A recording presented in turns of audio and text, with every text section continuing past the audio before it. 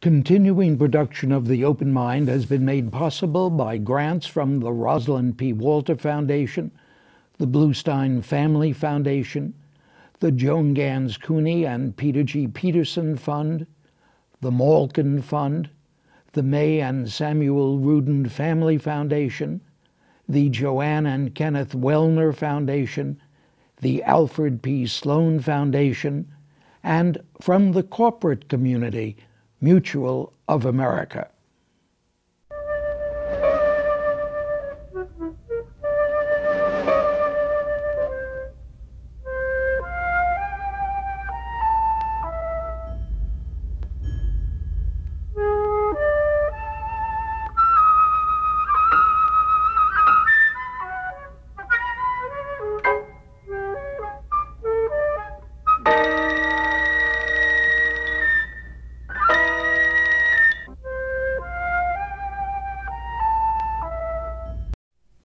I'm Richard Heffner, your host on The Open Mind, and I speak the truth, the whole truth, and nothing but the truth when I note that it is always today's guest whose name comes to mind and tongue when asked, as I so frequently am, just who over this past half century and more has been my favorite open mind fellow conversationalist. The three time governor of New York, of course, Mario Cuomo also identified these days as father of the present governor of New York, Andrew Cuomo. And I'm quite fascinated as I look over transcripts of the 14 other times we've talked together at this table, just how often our conversations have focused on moral issues, on the values that have guided what we've several times called my guests' governing principles, or perhaps more generically, the proper principles of governance. What brings Governor Cuomo back here today, of course, is the urgency of his recent New York Daily News column insisting that the death penalty is dead wrong.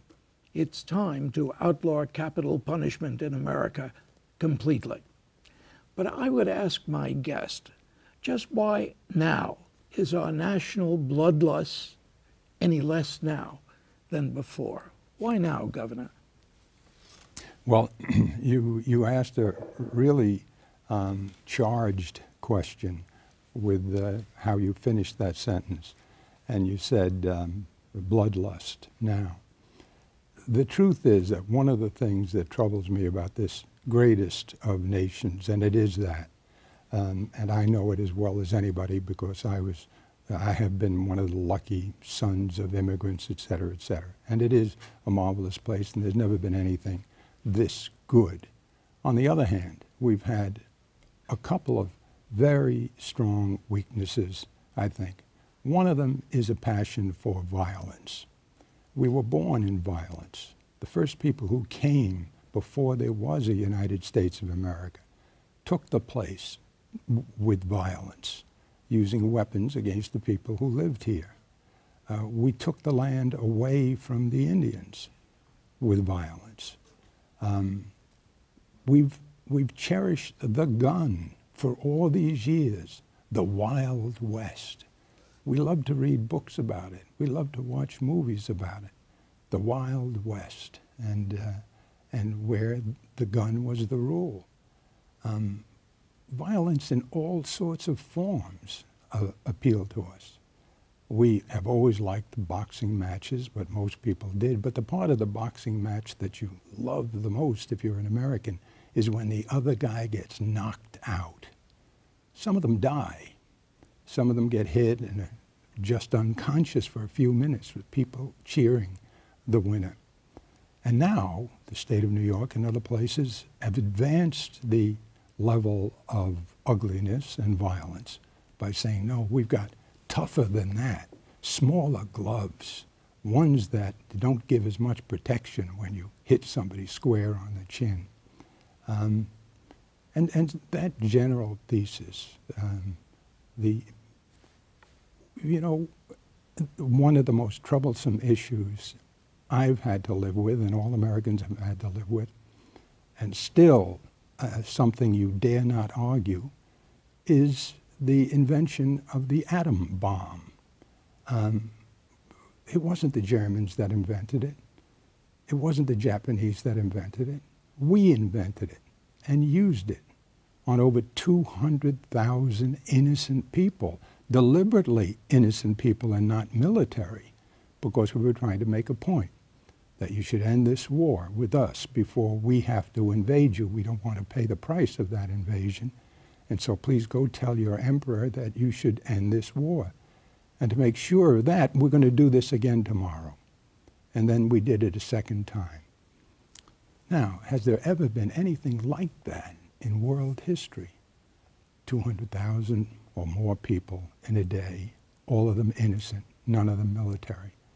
Um, can you make the case for it? Well, yes, we saved, it's uh, conjectured, 55 million or 55,000 uh, military jobs, uh, people.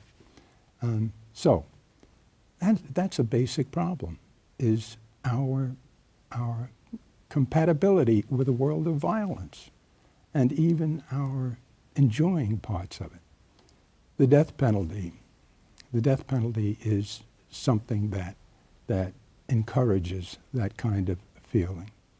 There is no, no intelligent reason for the death penalty. It does not deter crimes. That's been proven over and over. It is not even a good vengeance producer because the only, um, the only reason you can ascribe once you concede that it doesn't deter criminals, and it doesn't deter them. Some psychiatrists say it provokes some of them into um, cre uh, creating murders. Um, and so, so what then? Why do you do it? Well, it's the Bible, an eye for an eye, a tooth for a tooth. It's, it's the old idea of getting even. It's vengeance. It's revenge. It's all of those things. But it's not intelligence and it doesn't deter, and it doesn't help, and it's never saved a life, but it has taken innocent lives over and over. And so you put that all together, all my feeling about violence and the abiding violence in this country, and uh, the realities of the death penalty. It does nothing good. That's why all of Europe has done without it. That's why most of the world, other than places in the East, do without it. And indeed, if you travel in Europe, uh, uh, more than once I've been asked, well, why is it that your country insists on the death penalty? Um, now, there's a whole other case to be argued about military death penalties um, and what you do with people who, who um, uh, violate the, the first principle of being good to your nation and who are trying to hurt the nation. But that's, that's it. Basically, my feeling on the death penalty is there's no good reason for it, and there's a good reason to get rid of it. If you wanted really to punish murderers and to deter them, tell them they're going to be locked up for life with no chance for parole under any circumstances, for life, and live for as long as they can behind bars. And what that would mean in a state like this one is you'd be allowed in the uh, outdoors in a kind of cage, but it's outdoors, maybe a basketball uh, stanchion to play with. Uh, no friends, no conversations with the guards, no conversations with other prisoners. You try that for a lifetime. You know, let, let me, let me finish with this. Um, I lost in 1994, in part because of the death penalty. And near the very end of the campaign, it developed that there was a person in prison here for a murder in Staten Island. And we had him in prison for life. Uh, but he had also committed a crime in Oklahoma, murder. The Republican candidate who ran against me was smart enough to call the Republican uh, governor of uh, Oklahoma and say, you know, Cuomo's got a guy in his prison who committed a murder here why don't you tell him to send the guy to you so you can execute him? And that would save the people of New York a lot of money. Um, very smart move. Really. Politically? Yes, politically.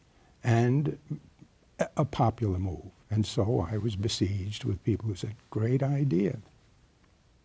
And um, what I said to, instead was to call the Oklahoma governor and say, I will send him back to you when he finishes serving his time here.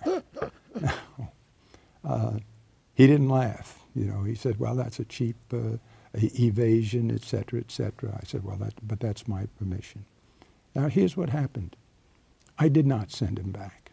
He was in prison on the day I lost the election, and the new fellow took uh, over, George Pataki, a good man, a good friend, incidentally um, and, and uh, took over and instantly said that the uh, death penalty was back as far as he was concerned, and he was sending this man to Oklahoma to be disposed of. Um, and he did. But before the guy was executed in Oklahoma, he wrote a little note that was published in the New York Post. And it said, Tell Cuomo, I'd rather be uh, killed in, in Oklahoma than have to live a life behind bars. And he was only doing 35 years. And that's the general feeling. They don't want to. I did three murder cases as a young lawyer. And in all three cases, I, I had commutations um, away from the death penalty. That was my first involvement with the death penalty all those years ago. Um, but the, um, it doesn't deter. It does no good. It kills innocent people. 23, we, we're said to have led the nation in killing innocent people. And now with the DNA, it gets revealed almost every day somewhere that if only you had had DNA, that person would not have been found guilty. Um, Governor, I have a question, though, that I have to put to you. In terms of the current political climate situation, do you think there's a chance in the hell that is capital punishment that it will be abolished? I think uh, I, I, think what you're you're doing is is um, saying in, a, in another in another way. We love the death penalty, and I think you're right, and I think that's part of why I'm so strongly against it. I don't think that's a good thing. I don't think it's a, a, a, good quality to have. And what else do you feel as an American? Oh, I, I think people who commit murder should be, uh, should be killed. Well, don't they make mistakes once in a while? Well, yeah, but very few. Um, so, no, I don't think there's much of a chance. And, and it, uh, New York went back to it. Now, New York is not having any of it practically because the courts of New York have figured out clever ways to avoid it, frankly. But it's still uh, on the books in New York. Do you think, as I mentioned, the present political climate, do you think there are any indication, any indications at all that we are becoming a kinder, gentler people? You've always at this table talked about governing principles. You've talked about moral principles. Do you see anything in the p- present political scene? Forget capital punishment for a moment if we must. Anything at all that would indicate that the better angels are prevailing? Certainly not at the moment. I think at the moment, you know, without getting into the really deep and complicated, uh, nearly theological uh, arguments, uh, but just basically, we now have more poor people than we had 15, 20 years ago. Uh, we now have a middle class that's weak and falling backwards. We now have more rich people by far than we ever had before. Millionaires, billionaires. That's good. That's wonderful. Uh, I hope New York State can get more billionaires and millionaires because if they're making that much money, that means somebody's working somewhere to earn it uh, so that they can have it. But as a fairness, as a question of fairness, we are not, I don't think, in the minds of most Americans, fairer to people than we were. You notice that nobody's even mentioned the poor people on the Republican side or the Democratic side. in any significant way already, we're, we're deeply into the race. Uh, the Republicans are arguing, the Democrats are beginning to argue with themselves a little bit too. But you're not going to hear anybody say, let's take care of those poor people. They should be the first thing we take care of, is the people who can't take care of themselves. And then the next thing should be the middle class, the people who, you know, what's my definition of middle class? Well, it's not so much a matter of numbers, because $250,000, if you live in Manhattan and have three kids, forget about it. You, you, you can't be rich with 250,000. But if you lived in some other states, maybe down south or somewhere in the middle of the country, it could mean a, a lot of a lot of difference. Uh, but you know, we we we are not doing well. We have people out of work who desperately need work. Um, so no, we're not being fair to the underclass at all, and we should be. Um, they're the ones that need us most. The um, Lincoln, well, how, how, do you how do you get there? They, we've contrived so many excuses for why we can't be there, um, why it has to be the way it is. Uh, the notion that uh, if you ask the super rich people to give more money, it's class warfare. The best answer to that was by the richest people I know um, who exist in this country Gates, people like John Whitehead, who ran Goldman Sachs, who was Deputy Secretary of State in the years of uh, Bush's presidency, the first Bush. Uh, and and uh, what, do, what do they say on the issue? Whitehead sent his Social Security check back and said, Why are you sending me a Social Security check? And they said, Well, you earned it through the process. He says, But I don't need it. So keep it and give it to somebody that needs it. Uh, Gates did something even more significant. Buffett recently has done something, but Gates did it on a bigger scale. Mr. Gates, not the son, but Mr. Gates himself, went before the Senate committee on the question of uh, taxes at death, the so-called death tax. And the argument from Republicans and, and others was that, well, you shouldn't have to pay any tax on the wealth you leave behind, the 50 million or the 100 million dollars you leave behind for your family.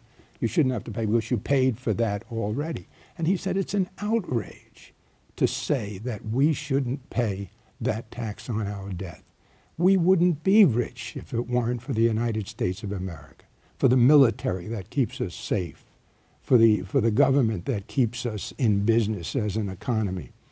Only, only because we're here in America can we be as rich as we are and get there the way we have by you know, not having special friends or special insights, but by working hard and being smart and being lucky.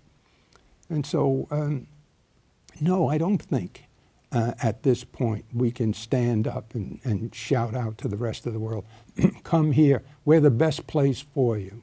Well, maybe we're, we're better than most of the rest of the world.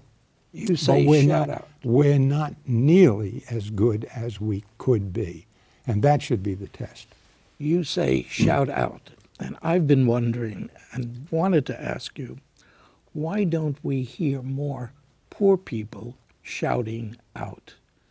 Why is it that at this time when you say neither Republicans nor Democrats seem to be talking about poor people, they seem to be talking much more about balanced budgets and our deficits. Why haven't we heard more from those who have been deprived or those who are deprived? Is the social security, the social net, is our, our, our protections so well in place that they don't feel what's going on? No, they, I, I think the, the truth is for the millions of people, the many millions of people who are really poor, for even uh, most of the millions of people in the middle class who are scared to death. Yeah. Um, they don't see any point in it. Uh, whom are they going to shout out to? Whom are they going to speak to? Um, who is it that will save them? The uh, Democratic Party has been weakened uh, a bit. Um, we don't make that case because politically, Uh, that's not the best argument to make. The, the best argument to make is, is middle class, not, not poor people. Um, so uh, the, the reason they don't do it is, is largely political. Um, see, uh, politics is another problem we have, a really bad problem, uh, and one that's going to be difficult to solve if, if ever we can solve it. Why? Because it depends on money. You know, our desire for money and our use of money um, and our, our uh, feeling about the death penalty are two of my favorite subjects because two, they're two of the things that trouble me the most. Um, people buy influence by giving a lot of money to candidates. Now, sometimes the candidates they give the money to are very good people, and it's a good, it's a good deal. You buy yourself a really good person. But a lot of times, you buy yourself a person who is pretty good, but also has a prior commitment to you and your group, whatever it is. And if it happens to be part of a group that is very wealthy and fights against uh, taxing their wealth, um, and uh, they win, and usually, if they get enough money, they will win. If it's, if it's a group like that, you're going to make sure that you never disappoint them by starting to tax them. We have now a situation in this country where, as you know, uh, there was a promise made by a lot of the people who were elected that says, we will never tax you. What? Yeah, we won't tax. We won't raise your taxes. Ever, we'll never do it. But uh, how can you honorably make that pledge? What if the country really needs it? What if the country, God forbid, has another war? What if the country has a disaster economically and gets wiped out? Whether, what if it has another depression? I did four hours of, uh, on the history show on the depression um, some years ago, maybe 1999, 2000. And, and somebody sent me a copy of it and I played the four nights. And on the last night, I said, uh, you know, it was horrible, and it really was horrible in a lot of ways. I said, but it could happen again. Um, and what if that happened? What would you do with your promise? Would you say, oh, gee, sorry, I know, I, I know it would be good if we could get some money from you, but I made a promise that we're not going to be able to tax you. Governor, I'm still puzzled as to why you talk about the deep recession. You barely remember it. You were a kid. I wasn't. I lived through that. I saw my father out of work for six years. I know what happened to our family. Why aren't people at the barricades now? How do we explain that? Is one explanation it's not as bad as we uh, weepy liberals say?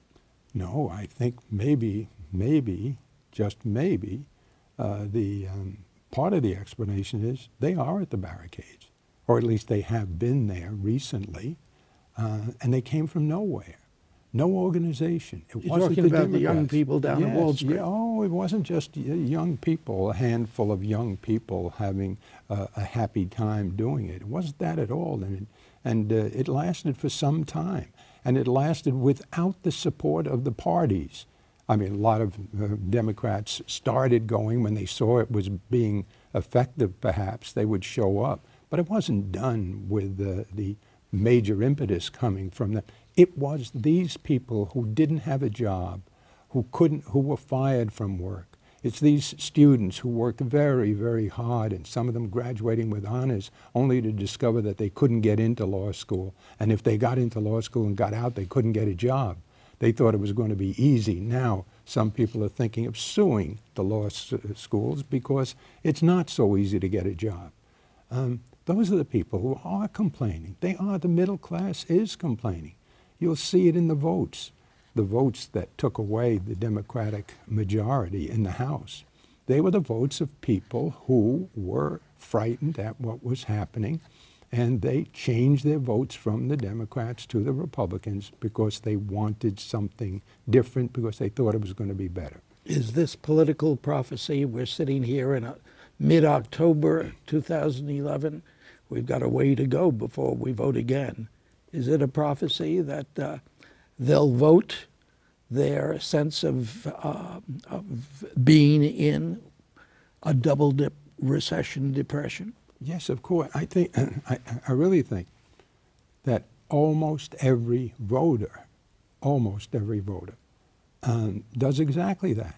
What does this vote mean to me and my family? If I'm alone, what does it mean to me? If I have a family, then what does it mean to us? Uh, will this vote help me keep my job, get a job, be fairly paid, uh, be taken care of when I'm sick? Um, yes, I think that's the way you vote. Uh, at the top, is uh, this a vote that will preserve my wealth and my, uh, my chance to keep going the way I'm going now, making millions and millions of dollars a year? Or is this vote going to go to somebody who thinks uh, I don't have the right to be wealthy? Yeah, the, all that thought, it seems to me, is part of the motivation for voting. Then, in the two minutes we have left, tell me how you think now in October 11, how you think those people are going to vote next November. It's, it's, uh, it's too, too hard to make an intelligent vote. Um, so instead of a vote, if you don't mind, I'll give you an aspiration. Please. That, that Obama will at some point break through and make it clear to the, the United States of America that what the Republicans are doing is trying to win the presidency by seeing to it that he fails in his plans to strengthen the nation. And in the end, they are hurting the people of this country in order to be able to say, don't worry, we'll take care of you when we are elected in uh, 2012. That, that's once the American people conclude that, hey, wait a minute, what I want you to do is start helping me right now, not then. Um, so I think, I think Obama will win by a hair. That's your prediction. That's and my prediction. We end the program with the governor, so you've got to remember those words. Okay. Thanks so much for joining me again on The Open Mind. Okay. And thanks too to you in the audience. I hope you join us again next time. Meanwhile, as another old friend used to say, good night and good luck. And do visit the Open Mind website at 13.org slash openmind to reprise this program online right now or to draw upon our archive of 1,500 or so other open mind and related programs. That's 13.org slash open mind.